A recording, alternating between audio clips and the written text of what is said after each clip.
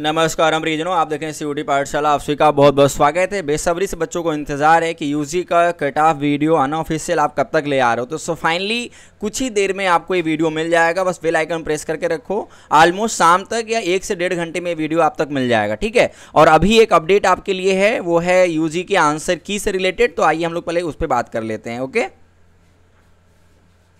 सो so, अभी हम लोग हैं ऑफिशियल वेबसाइट यूजीसी इंडिया के जो कि पूरे सेंट्रल यूनिवर्सिटीज़ का दादा है।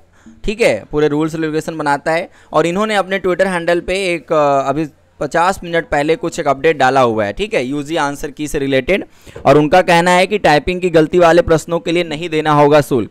भाई ये तो लॉजिकल कितना मूर्खों वाली बात है। गलती आप करो पैसे हम क्यों दें? हम ऐसे ही नहीं देंगे। इनके कहने से थोड़ी होता है।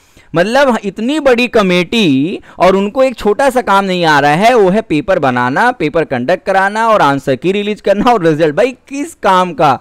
इससे अच्छा है कि हम तो खुद ही विश्वविद्यालय में जाके एडमिशन ले लेते हैं। आपका कोई ज़रूरत नहीं है, आप इतने बड़े मतलब मैं कुछ बोलना नहीं चाह रहा हूँ, लेकिन ठीक है, हम लोग मुद्दे पर बात करते हैं। इनका कहना है कि जो आंसर जो क्वेश्चन इन्होंने गलत किए थे वहाँ टाइपिंग में, उस पर लोग आपसे शुल्क नहीं लेंगे और वो सही कर देंगे। हाँ लेकिन उतने तक ही मामला नहीं है। आप यहाँ पे देखो, पढ़ो, लिखा हुआ है, इसीलिए हो रहा है हंगामा।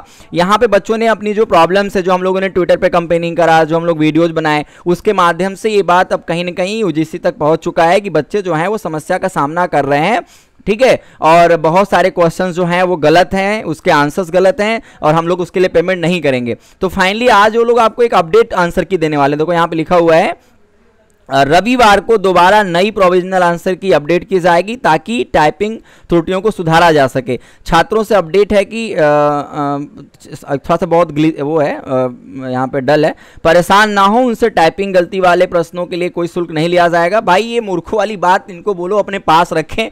मतलब गलती, आपको पैसे, हम क्यों बहुत गुस्सा आ रहा है, गधों वाली बात कर रहे हैं यार ये लोग।